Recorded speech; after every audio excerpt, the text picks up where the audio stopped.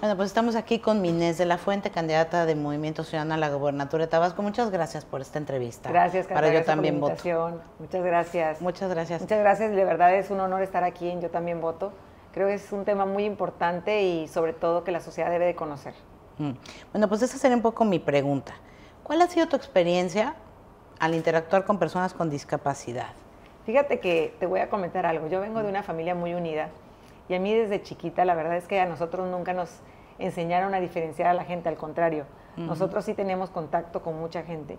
O sea, para mí es lo mismo de hablar con una gente con discapacidad, hablar con un empresario, hablar con un intendente. O sea, nosotros no tenemos ese problema. Entonces yo crecí queriendo y conociendo y aceptando a la gente como es.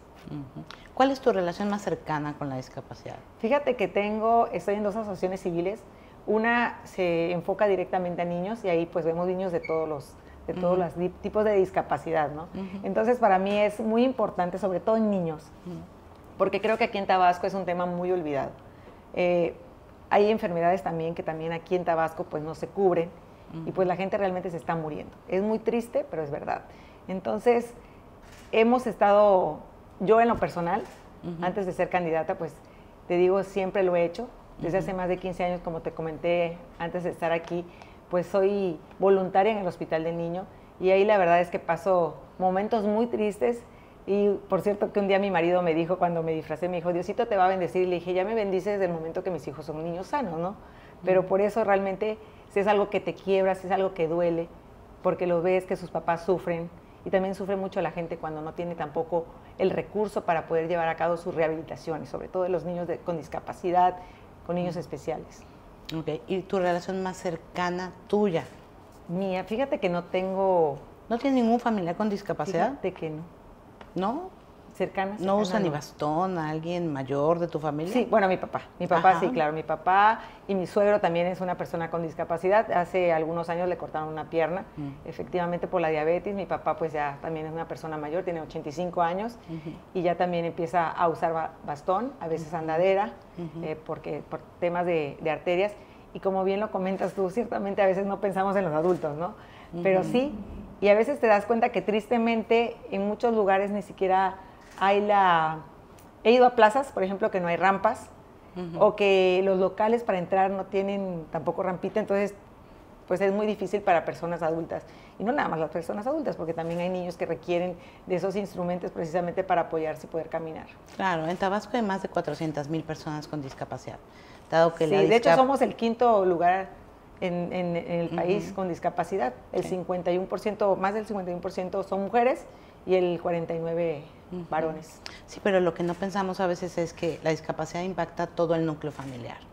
Determina tu forma, el lugar donde vives, reduce tus ingresos, aumenta tus gastos. Por supuesto. Y entonces si multiplicas esos cuatro por cuatro personas, resulta ser que 12 cada tres personas en Tabasco viven con una persona con discapacidad, aunque a veces no están conscientes de ello.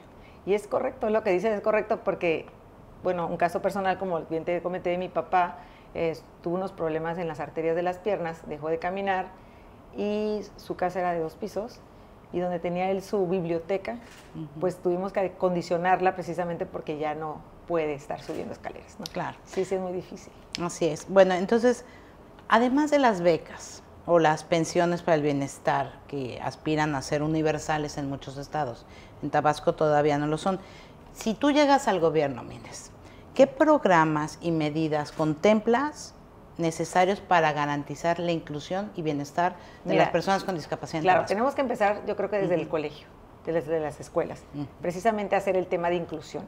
Yo tengo la fortuna de que mis hijos estén en una escuela que tiene, la verdad que incluye mucho a, los niños, eh, y yo creo que eso es básico, que los niños aprendan desde chiquitos a que tenemos que incluir a toda la gente.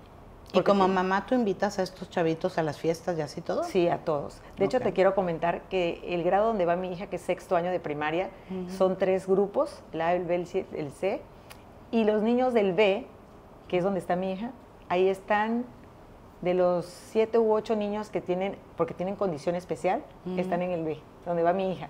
Entonces, a mí me encanta porque de hecho, este, en otro grupo que va la niña del A, eh, hay una niña que ni siquiera se puede mover, se llama Ana Lucía, y lo puedo decir porque su mamá me, es mi amiga, pues, Y es una niña que queremos muchísimo. Y a mm. pesar de que no habla, ella sí, la mamá la lleva para rehabilitación, siempre ha sido una mm. mamá muy pendiente. Ella mm. participa en los festivales y las mismas niñas, es muy bonito porque las mismas niñas es la que hacen coreografía con ellas con la silla de rueda. Entonces, sí es, es muy bonito que los niños desde chiquitos tengan e, esa apertura con todos los niños y que sean que los traten de forma igual, de igual a igual. Ok, pero esa te interrumpí, perdón. Estabas hablando de políticas de educación, supongo, ¿no? Por supuesto. De llegar a la gubernatura, ¿qué harías para hacer la mitad de los niños y jóvenes en edad escolar con discapacidad no están en las escuelas? ¿Qué harías? No, pues es lo que te digo, hay que incluirlos con programas especiales para que ellos también lleguen a las escuelas. Es importante. En escuelas regulares. En escuelas regulares, que traten a los niños al igual y que, bueno, lógicamente que si hay algún requerimiento, pues que también tengan su área especial para que ellos de manera más rápida pues puedan aprender al mismo ritmo de los otros. En todas las escuelas. En todas las escuelas. ¿Públicas y privadas? Pues por supuesto tienen que ser más las públicas porque las privadas de cierta manera lo manejan. Eso es la verdad. Aquí en Tabasco, de cierta manera, sí lo manejan las escuelas privadas. Bueno, esa es una propuesta. ¿Qué otra propuesta tienes? Híjole, pues para empezar, la infraestructura. Porque pues en muchos lugares ni siquiera hay banquetas, ni, siquiera hay rampas, y pues en la infraestructura es súper importante. Hay personas que, como bien lo decías, los adultos mayores, pues simplemente pues ya traen la mayoría bastones. A mí me tocó ir hace poco a un, Macuspana se llama, es el municipio, de hecho, del presidente, donde nació el presidente, y vi que una señora ahí se venía agarrando de una pared lógicamente porque no traen ningún bastón. Las calles no tienen, pues les cuesta subir, a veces se caen. Y bueno, la infraestructura es súper importante también. Pero sobre todo yo creo, sí me importa mucho más que hayan talleres en todos los medios, en todos los grados educativos precisamente también para que los jóvenes sepamos de las necesidades que está pasando este tipo de gente. Ok. ¿Y qué estrategias planearías para apoyar a los docentes que trabajan con estudiantes con discapacidad? Mira, hay que prepararlos más porque la verdad es que sí les hace falta conocimiento, mucho conocimiento. Eso sí lo he, percibido y te lo digo igual de la escuela de mis hijos, que a pesar, yo les decía, no es posible que pongan de los siete u ocho niños que tienen una condición especial, que los pongan en un mismo salón yo creo que los niños pues deben de ser tratados de la misma forma, pero por lo mismo de su discapacidad, pues esos niños necesitan más atención. Entonces, sí reforzar y que haya por lo menos en cada escuela pública una persona que traiga la capacidad y la experiencia para poder hacer o transmitir a otros maestros para apoyar ese tipo de niños. Eso se llaman USAERS, Así Unidad de Servicio de Apoyo a la Educación Regular de la SEP. ¿Crees que son suficientes? Pues no son suficientes porque actualmente aquí en Tabasco no lo hay. Ok. Una de las organizaciones que participan en este programa, bueno, es la Universidad Juárez de Tabasco. Y hay estudiantes eh, con discapacidad visual que están estudiando actualmente ahí.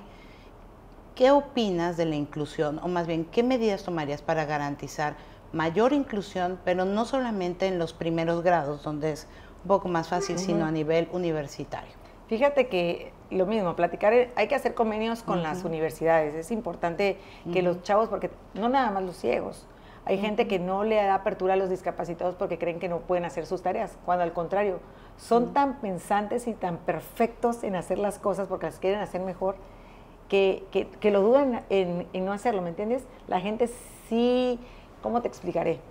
La gente puede pensar que no pueden hacer algo y a veces lo hace mucho mejor que la persona que no tiene ninguna discapacidad.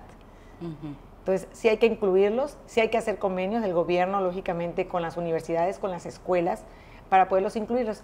Y un paso muy importante también, hacer convenio con las empresas tabasqueñas para que también los, los contraten y puedan ejercer algún trabajo. De hecho, aquí había un café, bueno, hay un café, mejor, mejor dicho, ¿puedo decir el nombre? Sí. Bueno, que se llama Cafeto, que precisamente contrataron a niños Down. Y cuando la gente... ¿A niños o a jóvenes? Ah, perdón, a jóvenes Porque si no es trabajo perdón, infantil, Sí, claro. a, a jóvenes Down.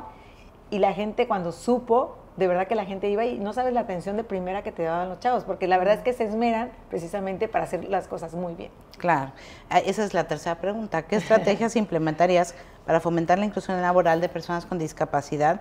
Pero fíjate, en el sector público, tanto como en el, el privado, si tú llegas a ser gobernadora, ¿qué porcentaje de personas con discapacidad tendrías en tu gobierno? ¿Tendrías un porcentaje? ¿Contrataría? Eso se hace en varios estados, por ejemplo. Mira, te voy a decir algo. Es, sí los tendríamos que incluir, pero hoy por hoy sí te voy a decir, la nómina del gobierno está súper saturada. De que tenemos que contratar gente, sí, porque vale la pena. Y también lo dije no nada más en el sector para los discapacitados, sino para mí es muy preocupante que hoy en día los centros de salud, que hay más de 500 aquí en Tabasco, pues eh, prácticamente están eh, abandonados, tanto como médicos por medicinas. Entonces, yo creo que tenemos que empezar con eso, que es muy importante pues también precisamente para la gente. educación. Es que tú ya habías brincado a trabajo. Ah, sí, perdóname, perdóname, pero es que se me ocurrió, bueno, no sé, en ese momento me llegó el recuerdo de cuando mm. fui a Cafeto y mm. me atendió una persona con discapacidad, de hecho un niño down, y bueno, dices tú, wow, se esmeran tanto, son tan perfectos, y ahorita en mi caminar también he estado, mira, tengo una foto, te la voy a enseñar, donde les da tanto gusto y con tanto cariño te reciben porque son gente muy amorosa, esa es la verdad normalmente o, he estado en una plática y de repente se acerca rápido una joven, porque ya son jóvenes, y te abrazan porque son muy cariñosos. Entonces hay que darles toda la oportunidad. Como te digo, yo sí, a mí sí me gustaría que las empresas tabasqueñas dieran sobre todo más porcentaje. No te puedo decir como tal en el gobierno incluirlos, sí incluirlos, pero no te puedo decir, le voy a dar trabajo a muchos porque no sé qué tanta capacidad para poder contratar tengamos, pero pues sí eh, comprometerme en el sector privado, las empresas me apoyen precisamente para darle más apertura a los niños con discapacidad y a los jóvenes, por supuesto. Bueno, a los jóvenes, perdón. A los jóvenes, digo niños, si no niños, pero es porque siempre, así como tú me dices mi niño, pero ya tiene 18, yo digo niños, ¿no? Pero sí, a los jóvenes, por supuesto. De hecho, la mayoría de las personas con discapacidad no son niños, son mayores, personas mayores. Sí, sí, sí. Ajá todos vamos hacia la discapacidad, vivir cada vez más años. Todos, unos por adultos, otros porque nacen con una discapacidad. Ok, pero hablaste, ok, voy a, pedir a los empresarios que apoyen e incluyan más, pero ¿tienes pensado algún, eh, no sé, eh, incentivo fiscal para que así lo hagan?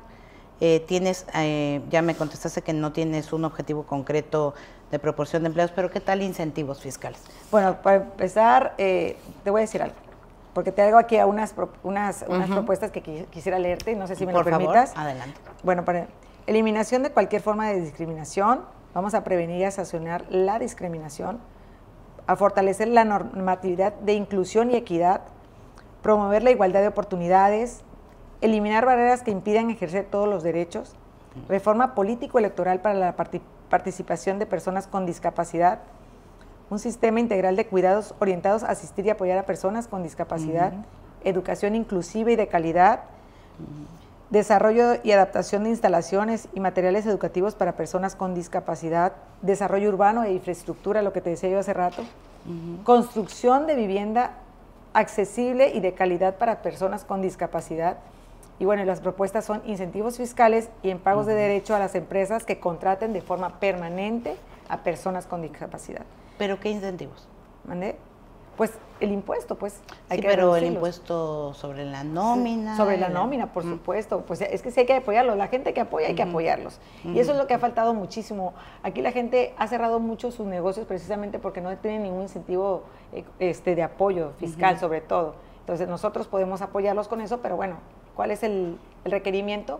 Pues que también apoyan a las personas con discapacidad con la OPRES. Súper, qué bueno que me leíste eso. Ahora, yo siempre me peleo. No he terminado. Ah, no, adelante. Pues. Pero sí me puedes interrumpir si quieres. Sí, sí, sí. Bueno, la creación del Fondo Estatal para el Empoderamiento para Personas con Discapacidad, orientada a terapia, a terapia de rehabilitación, becas educativas y emprendimiento.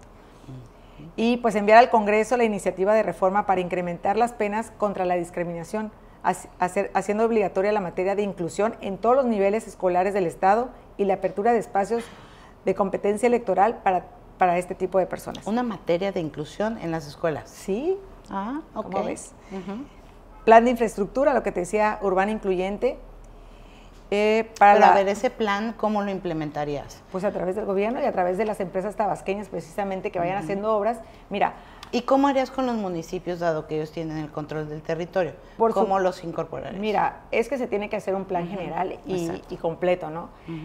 Yo digo que a las empresas que se estén apoyando, es decir, vamos a decirle que va a ganar la empresa Juanito eh, para hacer un puente vial. Bueno, a ese vamos a pedirle que como apoyo extra haga una una banqueta que traiga eso.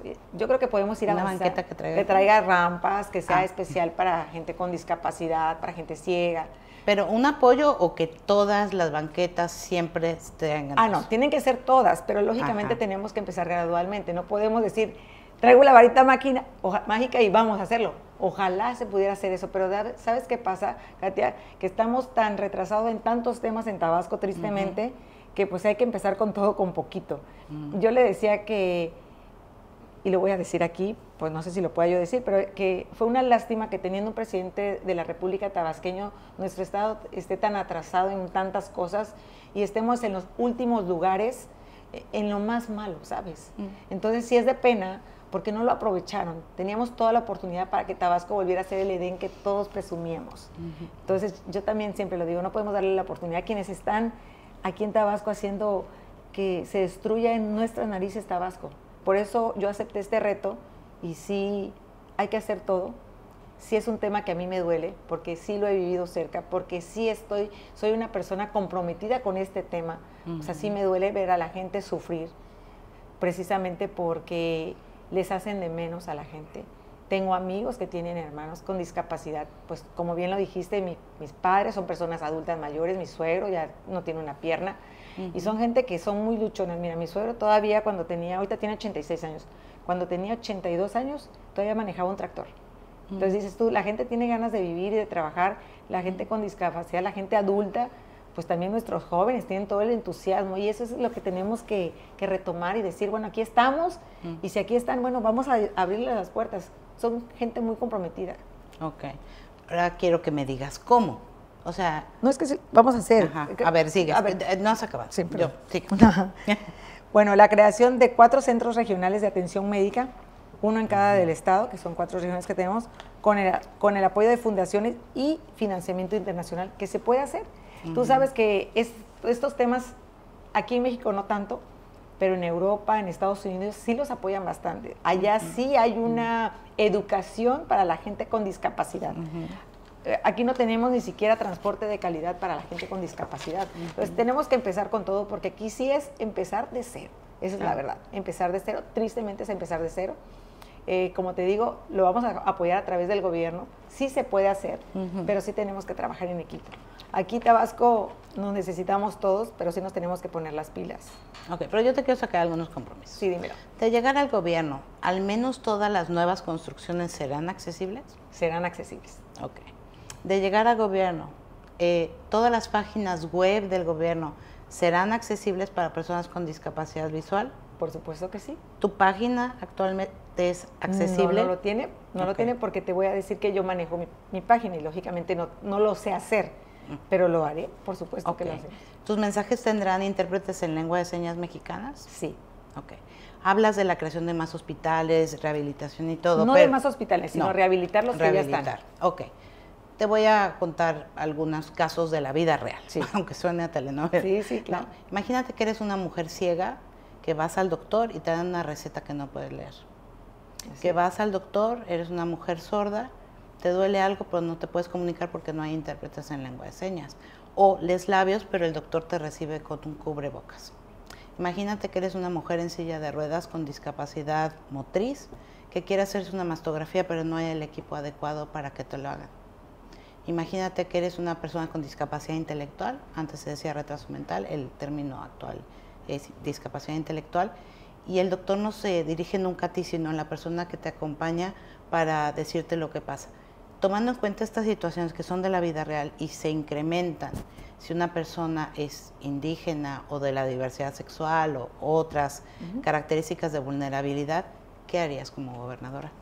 Bueno, primero vamos a hacer el respeto y te quiero contar y te quiero presumir que mi partido es el único partido que eh, puso como candidata una indígena en un municipio para presidenta municipal. Entonces de ahí empezamos porque realmente nosotros sí queremos la inclusión de todos. Y la gente indígena... La única... Aquí en Tabasco, ah. para presidenta municipal, es la única candidata indígena. ¿Sí? Nuestro partido lo hizo y lo hicimos. Ahora sí que sí te puedo decir que yo fui la que hice la invitación, porque precisamente eh, ese municipio eh, es, tiene una población muy importante de indígenas a los que siempre se han sentido rechazados o no o, mejor dicho, no, no, nunca lo han tomado para, para participar, a pesar de que las leyes ya, los dicen, pero todavía está como opcional, nosotros sí lo hicimos realidad, porque vale la pena también tomar en cuenta. Y también Movimiento Ciudadano es el único que ha cumplido con las acciones afirmativas de los distintos grupos en situación de vulnerabilidad. Y yo lo que me comprometí, eh, comprometí con Ofelia, que es la candidata allá precisamente, es que vamos a respetar nuestras lenguas, porque mucha gente, la misma gente, ya los hijos, pues ya empiezan a hablar más la lengua español que, la lengua materna. Entonces, pues no podemos permitir que se pierdan esas, esas, esas lenguas tan importantes como la... la claro, y hay, hay, personas indígenas que también tienen discapacidad, pero todas estas eh, apoyos necesarios que para acceder a la salud necesitan las personas con discapacidad, como lo que te mm, acabo de escribir. pero sí te quiero decir, sí hay que empezar a, a que en los centros de salud, mira, por ejemplo, vamos a poner una cajuca de ejemplo, que es donde hay una zona indígena muy importante. Hay doctores indígenas, pero no los toman en cuenta. En las zonas, pues hay que poner gente que también nos pueda comprender, ¿no? Porque de nada sirve que pongas una gente que va a hablar español, si, como, como bien lo dice, si habla en su lengua y no le van a entender. Pero más que eso... O se habla lengua de señas mexicana y nadie lo entiende. Mira, Katia, la verdad es que estamos tan retrasados en el tema de salud que lejos de... Si yo te dijera, que ni siquiera hay doctores, mm. pues menos va a haber un intérprete o alguien con el conocimiento ¿Pero para ¿Cómo le piensas dar la vuelta si gobierno estamos? No, es que tenemos que empezar primero a rehabilitarlos, por lo menos con doctores que hablen español. Y, y, lógicamente hacerles capacitaciones para atender a ese tipo de personas con discapacidad. Lo tenemos que hacer. Pero primero pues tenemos que curarlos y desgraciadamente curarlos. o sea, bueno, que las personas con discapacidad deben No, no, no, no, a la gente, a la gente, ah. a la gente en general, o sea, darle su medicina, su receta porque ni siquiera hay eso, ¿no? no porque sí sabes que la discapacidad no es una enfermedad, Ay, no, por supuesto, por ah, supuesto, por supuesto. No, no, no, yo me refería que a la gente los tenemos que dar, mira, desafortunadamente aquí en Tabasco no hay prevención, o sea, me mm. refería a la gente general, no, no mm. yo no, lo que te vuelvo a repetir, yo, Minés de la Fuente, a mí, te lo vuelvo a repetir, siempre me enseñaron desde niña que todos somos iguales. Tengo amigos de la comunidad a los que quiero muchísimo, de hecho, como bien lo dices, Movimiento Ciudadano puso gente de, la comunidad y yo feliz, la verdad. De la diversidad sexual. Sí, de la diversidad sexual. Eh, también, pues también tenemos discapacitados. Aquí tenemos que incluirnos todos para que realmente la sociedad avance. Pero lo que te decía yo en el sector salud aquí en Tabasco, eh, todo está abandonado. Mm. No tenemos médicos y medicinas. Entonces, primero tenemos que a la gente curarla de la enfermedad que traigan. En general a la gente, no, no estoy diciendo de algún, de algún grupo en especial. Pero si no tenemos doctores, los centros de salud están enfermos, ¿cómo voy a pretender yo ayudar a todos cuando primero tengo que organizar eso para que, por, pues, para que posteriormente podamos ayudar a todas las gentes? Ok. A ver, dos temas nada más. Bueno, tres en red. Dos. Eh, las personas cuidadoras juegan un papel fundamental en el bienestar de las personas con discapacidad. ¿Qué medidas implementarías para reconocer y apoyar el trabajo de las personas cuidadoras, incluyendo programas de capacitación, recursos dedicados, apoyo emocional? ¿Qué piensas hacer con el sistema de cuidados del que estamos hablando tanto en el país y que es necesario? Sí, Fíjate que hay un tema muy importante. Yo ofrecí una tarjeta naranja y ese es un apoyo económico que se debe dar precisamente a las personas cuidadoras de adultos mayores y de niños. Porque tú sabes que mucha gente, o sea, hasta las mismas amas de casa, precisamente a veces no podemos salir a trabajar por cuidar a, los niños chiquitos, sobre todo, con alguna discapacidad, o a nuestros adultos mayores y a los niños en general. A los niños en general. Y a los jóvenes con discapacidad también. Entonces, ese apoyo económico es para que emprendan desde casa y puedan estar haciendo las dos funciones y no dejarlos abandonados. Esa es mi, la tarjeta naranja. Muy bien. Y otra, ¿qué estrategia implementarás para descentralizar el deporte adaptado para personas con discapacidad con respecto a infraestructura y accesibilidad de deporte adaptado? Fíjate que en esa área sí Tabasco tiene algunos, algunas unidades deportivas, pero de la misma manera también te lo digo, en su mayoría para todos, no nada más para un grupo en especial, están en total abandono. Está para llorar, la verdad es que sí está para llorar. Que yo digo, si Dios y la vida me da la oportunidad, no sé ni por dónde vamos a empezar, porque de verdad que nuestro estado tristemente está de cabeza. Entonces, sí hay áreas, sí se tiene que lógicamente poner áreas especiales para la gente especial, sobre todo con discapacidad, para la gente adulta, para la gente pues sin, una pierna, o sea, para todos. Eh, pero, ¿qué te digo? Ya hasta me da ganas de llorar nada más de contarte todo lo triste que está Tabasco en, infraestructura, pero para, es para todos. O sea, no te puedo decir que solamente para los discapacitados, es que no hay nada para nadie. Pero sí, sí. Entonces, todo lo que se vaya a hacer y se vaya a rehabilitar, porque eso también fue una de mis propuestas. No hacer más, sino rehabilitar las que ya están y acondicionar, por supuesto, para que tengan toda la gente la posibilidad de llegar. Toda la gente. No nada más un grupo, toda la gente. Todas las personas. Ok.